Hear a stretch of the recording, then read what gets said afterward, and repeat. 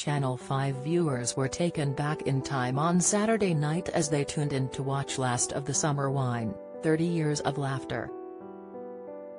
The documentary looked into the history of the beloved show which is the longest-running sitcom having been on the air for a total of 37 years. However, the documentary program revealed one of the comedy's most popular stars almost wasn't cast. Last of the Summer Wine was first broadcast by the BBC in 1973 and quickly became a hit with viewers. The original lineup saw Bill Owen star alongside Peter Sallis and Brian Wilde. However, Saturday night's documentary revealed Bill almost missed out on his iconic role of Compo. Tom Owen, Bill's son, spoke on the documentary and revealed his father was first sent the script for the character in the post.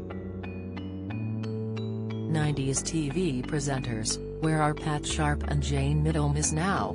He explained, I was living with him at the time in his flat in Marylebone High Street and an envelope came through the door.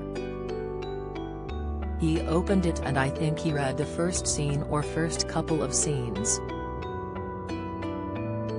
Always remember him saying to me son, this is pure gold, Tom said. However, despite Bill's enthusiasm for the part, the show's writer Roy Clarke wasn't keen on him playing Compo.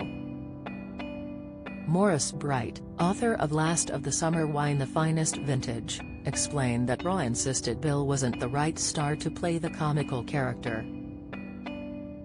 He said, the BBC auditioned Bill Owen who was actually a Londoner and straight away Roy Clarke said no. He's not suitable. He is not suitable for Compo, this sort of out-of-work lazy Yorkshire lad. That's not how I see him, Morris explained. Roy was kind of adamant no Bill Owen, Tom added.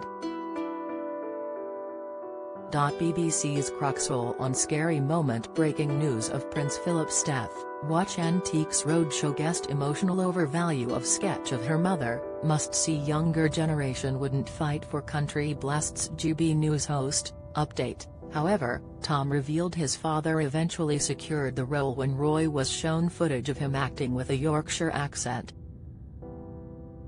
He commented, the original producer said, just watch this tape which he had of Bill where he played a Yorkshireman.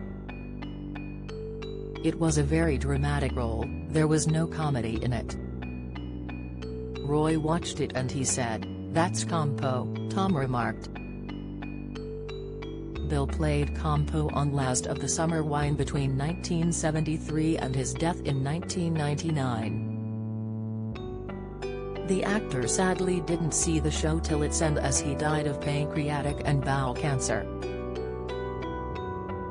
As a result, Bill's final scenes in the sitcom were broadcast in 2000. Last of the Summer Wine continued until 2010 when its 37-year run came to an end. Last of the Summer Wine, 30 Years of Laughter is available to stream on My 5.